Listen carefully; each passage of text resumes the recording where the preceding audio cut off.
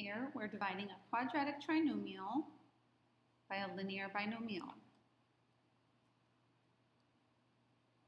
x plus 5 is our divisor.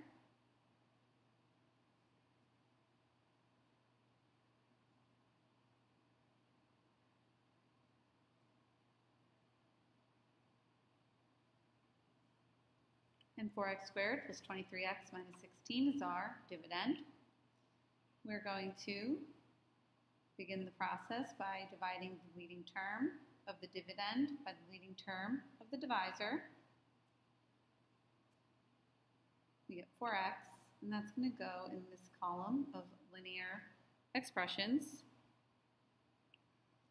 4x times x plus 5.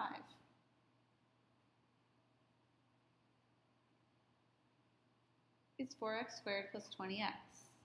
Parentheses, minus sign, underline, cancel. What goes down here? 3x. Bring down the minus 16. Start over again.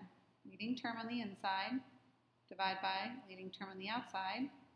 We get a 3 or a plus 3. That quotient piece gets written up top. Again, check your columns all of the expressions should match. Multiply that plus 3 by the binomial on the side.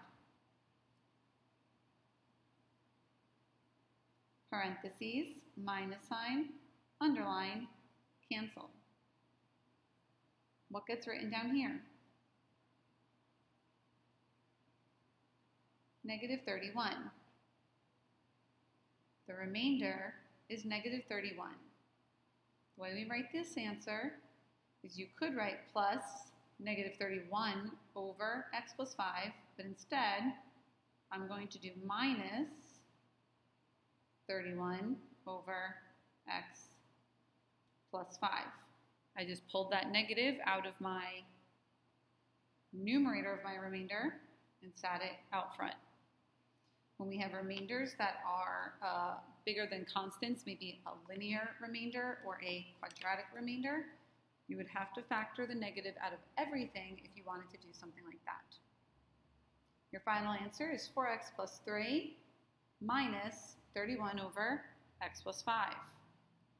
x plus 5 is not a factor of 4x squared plus 23x minus 16. However, if I multiply x plus 5 by 4x plus 3 minus 31 over x plus 5, I will get the dividend 4x squared minus 23x minus 16. I'm going to record a separate video for the next homework example and hopefully I'm able to link the thumbnail at the end of this video for you to click through. If not, just check the description box below for the playlist of other recordings from this long division packet. Have a great day.